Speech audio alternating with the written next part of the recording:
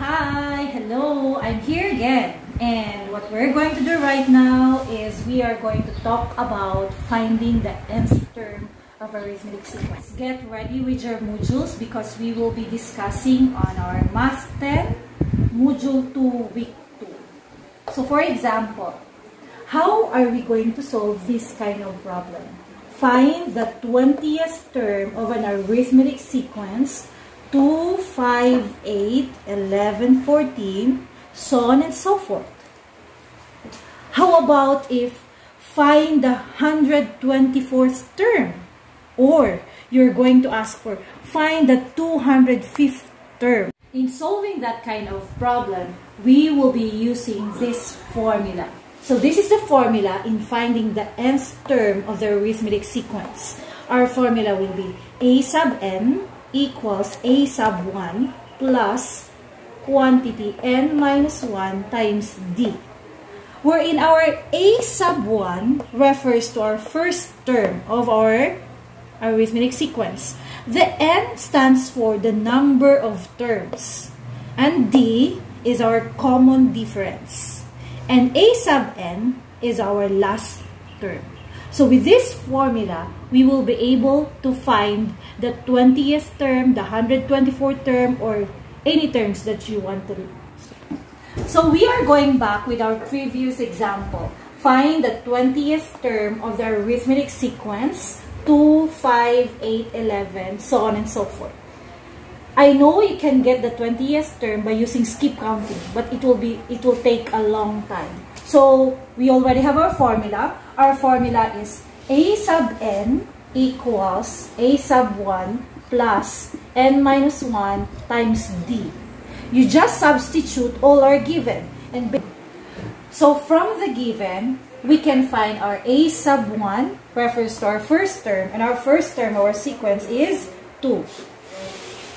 Our n refers to the number of terms. Our problem looks for or finding the 20th term, so our n is 20. Our common difference or d, of course, it's the difference from second term to the first term, third term to the second term. So we have 5 minus 2. Answer is 3. So our common difference is 3. And our a sub n refers to the last term. But in this kind of problem, we are going to look for the last term. So a sub n or the a sub 20 is unknown. So using now our given, the first step we are going to do is to substitute all of it in our given formula. So substitute. So this a sub n will become a sub 20 equals, just substitute our a, a sub 1 or our first term which is 2, that's correct, plus quantity of n minus 1 or n here is equals to 20. So this will become 20 minus 1. And then our, and our d as the common difference is equals to 3. So we just substitute it by 3. So again, I hope you're following. We just substitute all our given. Next, since we have to solve for a sub 20, then we have to apply or simplify these numbers according to PEMDAS. So we'll have a sub 20 equals. So we have to simplify first those inside the parentheses. So this will become 2 plus 20 minus 1 will give you 19. 19 multiplied by 3. Again, simplify according to PEMDAS, we cannot add 2 plus 19. You have to multiply first. So this will become A sub 20. Applying PEMDAS, we are not going to add 2 plus 19. But we have to multiply first 19 times 3. So, we just copy 2 first plus 19 times 3, that's equivalent to 57. So, since we only have 2 plus 57, then we can get our A sub 20. And our A sub 20 is equals to 50. Very good. It's 59. So therefore, our 20th term that is being asked in our given problem is 59. I hope you get this one. In order for you to solve this kind of problem, you have to identify all the given. and see what is being asked in the given problem. And then, second, you have to substitute all you're given in our formula. Third, you have to simplify according to PEMDAS. So that's how you get your final answer. Is that clear? Okay, I hope you got it right. Just do it the same with what I did on this example number one. The problem I gave you earlier, you can do this at home. You try this one. You have to find for the 124th term. And also, you have to find for the 205th term. I hope you're ready with our example number two. So we'll have this one. In the arithmetic sequence, negative 7, negative 4, negative 1, 2, so on and so forth, what term is 44? Again, in the arithmetic sequence, negative 7, negative 4, negative 1, 2, so on and so forth, what term is 44? In this kind of problem, the same with what we did, our first step is to identify the given. So what are our given? We'll take first term. Do we have first term? Yes. That is negative 7. How about the number of terms? Yes. Do we have the number of terms? If you're going to notice, we don't have number of terms. How about common difference or D? Do we have common difference? Yes, we only get the common difference by subtracting second term to first term. So, negative 4 minus negative 7, that will give us the answer which is positive 3. Why? Applying again subtraction property of equality, this will become positive plus, and this will become positive. We change the sign of the subtrahend. So this will become negative 4 plus 7. So the answer is 3. So our common difference is 3. Next, we have to look for the last term. Do we have a last term? Yes, our last term is 44.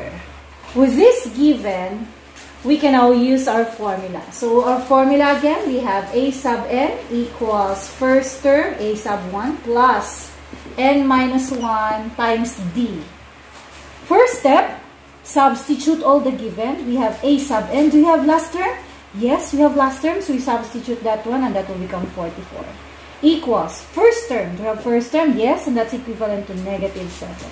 Plus quantity of n minus 1. Do we have n? If you're going to notice, our n is unknown. So you just copy n minus 1. And then our d, substitute our d, our d is 3. After that one, then we have to simplify applying or distributive property of multiplication. So the rest will be copied. So this will become 44 equals negative 7. This 3 here will be distributed to this binomial. So that will become 3 times n. So have plus 3 times n that will become 3n. 3 multiplied by negative 1 that will become negative 3. Since we have to solve for n, all the constants will be combined. So we have to transpose all our constant to the other side applying addition property of equality. So this will become 44. Transpose this negative 7, that will become plus 7.